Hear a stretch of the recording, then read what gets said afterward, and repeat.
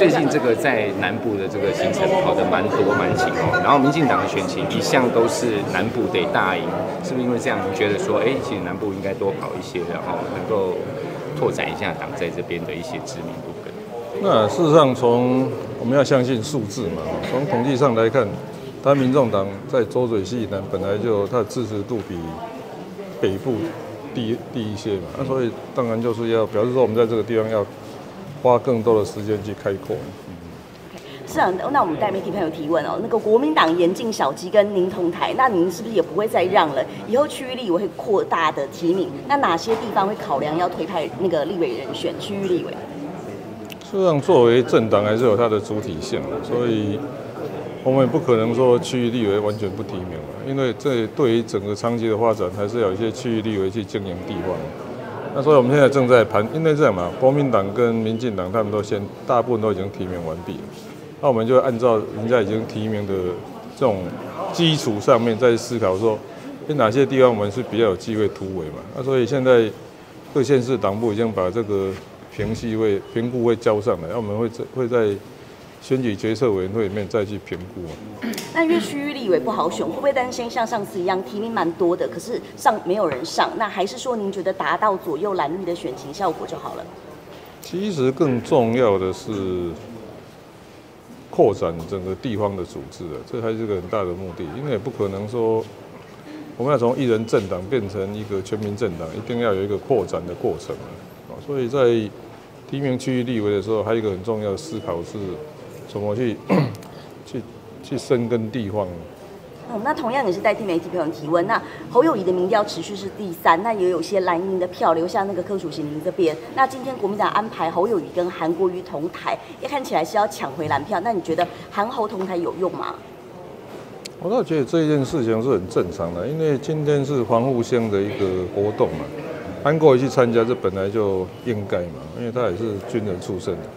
那至于侯友谊会跑去这个场合去争取选票，那这也是也是正常的嘛。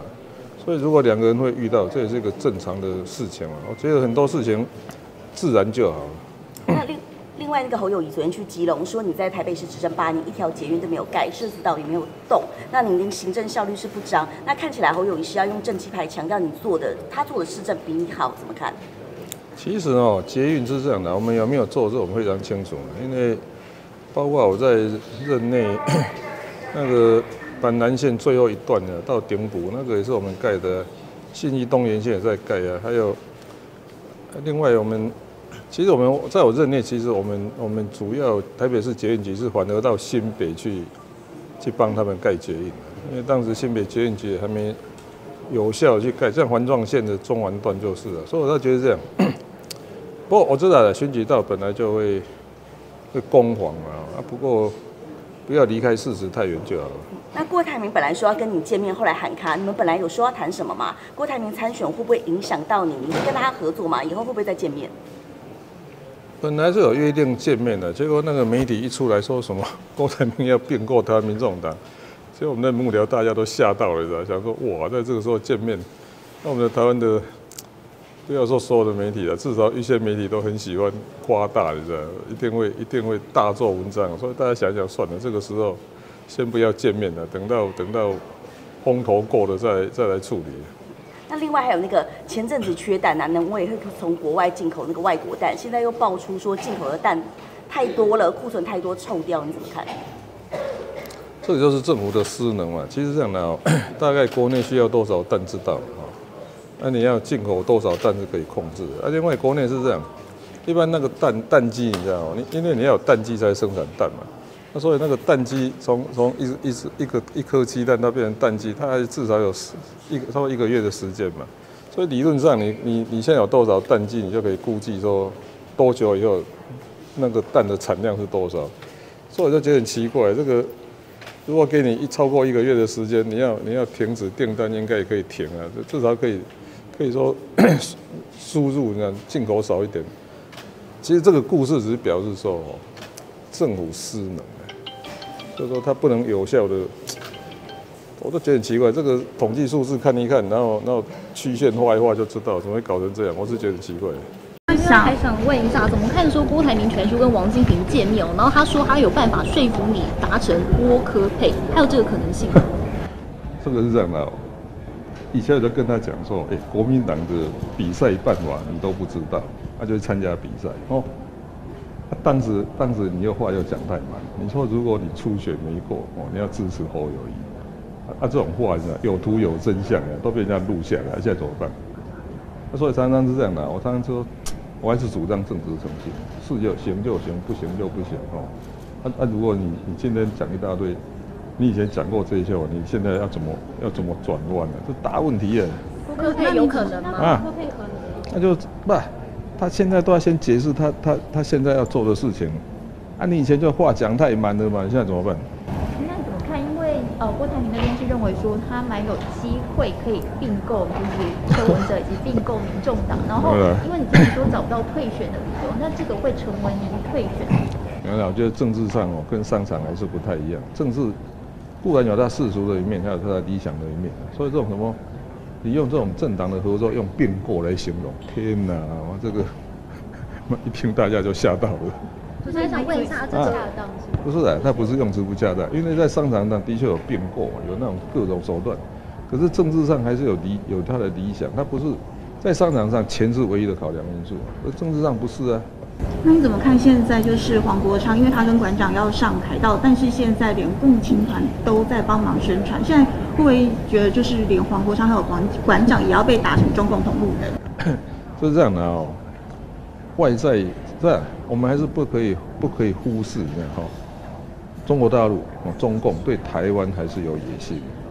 那我我以前遇到美国高层跟他讲，过去七十年中共的意图都没有改变。唯一改变是他国力变强，那所以是这样的哦。我相信在未来的时间呢，随着中共国力越来越强，这样，他对他的出招一定越来越多了嘛。那大家知道就要看怎么应付嘛。那当然，这件事情其实对柯批而言，看到郭董在这边等他，其实他也没有太惊讶。但对于这个柯文哲主席的一些幕僚来说，的确会觉得有一点点突然。为什么没有事先先通知，然后就带着他的自媒体小组直接来到现场拍摄哦？话题人物齐聚金门影城隍，红海创办人郭台铭和民众党主席柯文哲活动同场又同框，晚上还一起并肩看海。想不到现在传出是郭台铭狂抠海夜袭，让柯阵营觉得不被尊重。他有跟你说，他跟柯市长是海誓山盟。哎，这个要怎么回答？就说有还是没有？对啊，是这样，人家讲什么话，我们又不能禁止人家讲什么话。不要这样啦，客随主便啊。那你愿意跟他海誓山盟吗？不要再问这种奇怪的题目啊，这个。那你们昨天聊了什么？有聊到二零二四的合作吗？要怎么？没有的，他不会。哎呀，人家也不会在这种场合问讲这种话，不会的。根据媒体报道，当天郭台铭先是打了五六通电话要找柯文哲，后来更直接带着自媒体到柯批的民宿前等人，让柯阵营相当惊讶。而两人同框看海的照片，再度引发外界柯国配联想。民众党发言人杨宝珍也还原当时的状况。好，昨天柯文哲主席他晚上的行程结束之后，那在回去民宿的路上，他就有发现到郭董有几通的未接来电，所以他就回电给郭董。那郭董就问他说，他的民宿在哪边？有想要来找柯批来聊聊天。那后来就是柯文哲主席他在回到民宿的时候，就发现到，哎，郭董他已经带着他的自媒体小组的人员，然后已经在民宿那边在等柯批回来。所以后来呢，郭董他就直接拉着柯批。然后就说，那我们去海边看看海，聊聊天这样子。那其实他们在过程当中，其实没有聊到太多的一些政治话题或是什么合作。他其实主要是郭董，他呃，因为金门离厦门是比较近的，所以后来郭董他就有跟柯批来聊聊他当时在商业投资上面的一些想法还有经历。那当然这件事情其实对柯批而言，哦，他看到郭董在这边等他，其实他也没有太惊讶，但他就觉得反正就是朋友来见面聊聊天。天，但对于这个柯文哲主席的一些幕僚来说，的确会觉得有一点点突然，那甚至觉得，哎，怎么可能没有事先先通知，然后就带着他的自媒体小组直接来到现场来进行拍摄哦，所以的确对于幕僚而言是觉得有一点点差异的。